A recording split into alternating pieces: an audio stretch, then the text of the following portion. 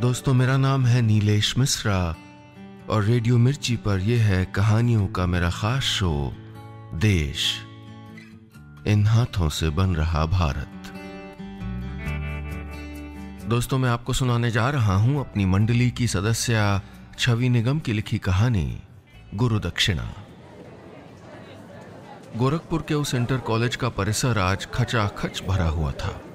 शिक्षक दिवस के अवसर पर बच्चे अपने शिक्षकों के प्रति सम्मान प्रकट कर रहे थे। उन्हें अपने हाथ के बने कार्ड्स और फूलों के गुच्छे देकर उनका अभिनंदन कर रहे थे। मौजूदा छात्रों के अलावा इस अवसर पर पुराने छात्र भी अपने गुरुजनों से मिलने आए थे और अपनी पुरानी यादें ताज़ा कर रहे थे। सम्मान समारोह के बाद सारे टीचर्स आकर अपने स्टाफ रूम में बैठ गए। चपरासी ने हर शिक्षक को मिले कार्ड और फूल वगैरह उन्हीं की मेज़ पर लाकर रख दिए। और हर साल की तरह इस बार भी सबसे बड़ा और ऊँचा ढेर राम प्रसाद जी की टेबल पर था। कुछ लोग जलन महसूस करते थे, कुछ उनकी प्रशंसा करते थे और कुछ हैरानी जताते थे कि उस सीधे सादे मैथ्स टीचर में ऐसी क्या खास बात थी जो वो हमेशा सबके फेवरेट टीचर बने रहते थे। खास तौर से इंग्लिश टीचर मिस्टर बैनर्जी को तो हर बात पर हमेशा संशय रहता था। आज भी वो उनको देखकर ड्राइंग टीचर के कानों में बुदबुदा रहे थे। How is this possible why is mister Ram Prasad like so popular क्योंकि एक तो राम प्रसाद जी का सब्जेक्ट इतना नीरस समझा जाता था और दूसरे वो पढ़ाई लिखाई तक ही सीमित रहा करते थे। अपने रख रखाव के प्रति भी वो खासे बेपरवाह थे। मिस्टर बैनर्जी ने अपनी टाई की नॉट ठीक करते हुए राम प्रसाद जी की तरफ़ देखा। आज भी राम प्रसाद जी कुर्ते पैजामे में ही कॉलेज आ गए थे। लेकिन इन सब चीज़ों के बावजूद कैसे वो स्टूडेंट्स के सबसे चहेते शिक्षक बन जाते थे, ये ये बात मिस्टर बैनर्जी की समझ के बाहर थी।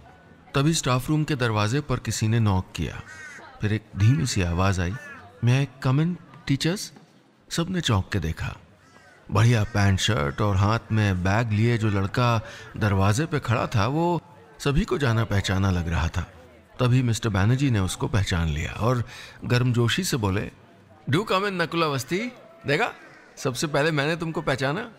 ये looking so fine young boy उन्हें और बाकी सबको नमस्ते करते हुए नकुल अंदर आ गया और सीधे राम प्रसाद जी की तरफ़ बढ़ा। तभी इतिहास की शिक्षिका मिस दीपा ने उसको रोकते हुए कहा लेकिन तीन साल पहले अचानक तुमने स्कूल क्यों छोड़ दिया? कितने अच्छे मार्क्स लाए थे तुम हाई स्कूल में? तुम थे कहाँ? दूर से रामप्रसाद जी उसको देख रहे थे। उनकी यादों में तीन साल पहले का वो नकुल था जो दसवीं कक्षा में बहुत अच्छे नंबरों से पास हुआ था। एक दोपहर उसे चुपचाप स्कूल की सीढ़ियों पर बैठे देखकर रामप्रसाद जी चौंक पड़े थे। वो सुबक रहा था। क्या हुआ बेटा? उन्होंने पूछा तो नकुल ने बताया कि उसके पिता की बीमारी के बाद घर की माली हालत खराब हो गई थी। वो अब आगे पढ़ नहीं सकता था। अब वो जल्द ही कोई काम सीखकर उसमें कुशलता हासिल करना चाहता था ताकि उसे अच्छा रोज़गार मिल सके और वो जल्द से जल्द पिताजी का सहारा बन सके। राम प्रसाद जी ने उसका सर थपथपाया। बोले, मैं इसके बारे में ज़रूर पता करके तुमको बताऊँगा। हुँ? अपने चहेते शिक्षक पर नकुल का भरोसा और मज़बूत हो गया। रामप्रसाद जी प्रयत्न करते रहे।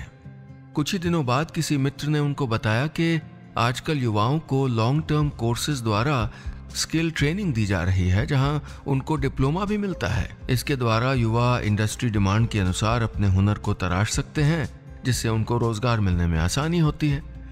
उनको जानकारी मिली कि विकासशील भारत में ज़्यादातर बेरोजगार ऐसे हैं जिनके पास पढ़ाई की डिग्री तो है, लेकिन उद्योग या व्यवसाय की मांग के मुताबिक हुनर नहीं है। इसीलिए आईटीआई के माध्यम से उनको ट्रेन करने और नैप्स के द्वारा उनको अप्रेंटिसशिप के लिए भी सरकारी मदद सुनिश्चित की जा रही है। उन्होंने जाना कि कैसे अनेकों ट्रेनिंग प्रोग्राम के माध्यम से हुनरमंद और स्किल्ड युवा अपनी और देश की तरक्की में योगदान दे सकते हैं।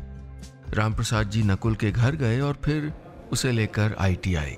वहाँ उपलब्ध कोई 120 कोर्सेज में नकुल ने रेफ्रिजरेशन और एयर कंडीशनिंग के कोर्स को चुना। उसका रजिस्ट्रेशन करवाकर सुकून से रामप्रसाद जी अपने घर आ गए। और आज कोई तीन साल बाद नकुल को वो दोबारा देख रहे थे और मुस्कुरा रहे थे कि अब उसमें फ़र्क दिख रहा है। नकुल ने उनके पाँव छुए रामप्रसाद जी ने उसको सीने से लगा लिया। नकुल ने सभी को बताया कि कैसे सर की प्रेरणा से उसने आईटीआई में साल भर का कोर्स करके अच्छे नंबर प्राप्त किए थे। फिर साल भर की ऑन जॉब ट्रेनिंग के दौरान उसको अच्छा स्टाइपेंड तो मिला ही, साथ ही इंडस्ट्री में काम करने और सीखने का मौका भी मिला। और अब तो उसकी अच्छी खासी नौकरी भी लग गई है। ये कहते हुए उसने बैग से निकालकर एक खूबसूरत शॉल उनके कंधे पर उड़ा दी। रामप्रसाद जी मना करने को हुए, लेकिन नकुल धीरे से बोला, गुरु दक्षिणा समझ लीजिए, मेरा दिल रख लीजिए, प्लीज़। तो उनकी भी आँखें भर आई। मिस्टर बैनर्जी को समझ आ रहा था कि सच्चा शिक्षक वो है जो विषय पढ़ाने के साथ साथ अपने शिष्य को ज़िंदगी में विजयी होना भी सिखाता है। उस शॉल को ओढ़े हुए रामप्रसाद जी का कद उन्हें बेहद ऊँचा नज़र आ रहा था। अभी तक मिस्टर बैनर्जी ने उनसे हमेशा एक दूरी बनाए रखी थी, लेकिन आज वो खुद रामप्रसाद जी के पास गए और अपना दाहिना हाथ उनकी ओर बढ़ाते हुए बोले happy teachers day Ramprasad ji. मैंने आपसे भी बहुत कुछ सीखा रामप्रसाद जी ने मुस्कुराते हुए उनसे हाथ मिलाकर उनको भी शुभकामनाएँ दी। बस इतनी सी थी ये कहानी। उम्मीद है आपको कहानी पसंद आई होगी। दोस्तों, अगर आपके आसपास कोई भी नकुल जैसा युवा हो तो उसे स्किल इंडिया से जुड़ने के लिए ज़रूर कहें। स्किल इंडिया का टोल फ्री नंबर है zero eight eight, zero zero zero, five five five five five. यानी zero eight eight, three times zero, five times five. Zero eight eight, तीन बार ज़ीरो और पाँच बार पाँच। और हाँ हमें ज़रूर बताएँ कि यह कहानी आपको कैसी लगी। आप स्किल इंडिया से सोशल मीडिया पर भी जुड़ सकते हैं। जुड़ने के लिए ट्विटर हैंडल है M S D E skill India और फेसबुक पर संपर्क करने के लिए पता है स्किल इंडिया ऑफिशियल।